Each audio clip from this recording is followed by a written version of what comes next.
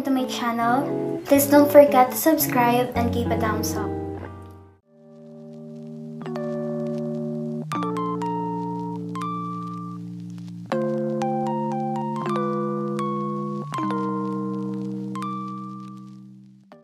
With this another video, I'm gonna show you how to have a coffee grain preset.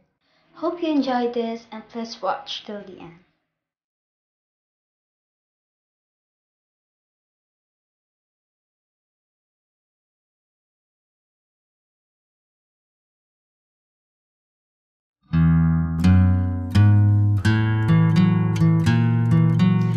I suggest that in every step, you just need to pause so you can follow the process.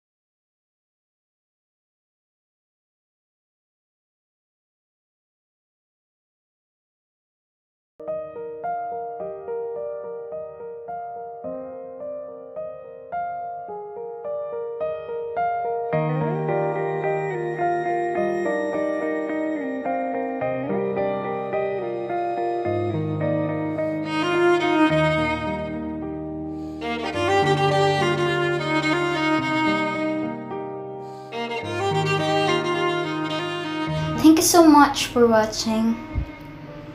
If you like this video, please don't forget to give a thumbs up and subscribe to my channel for more presets tutorial.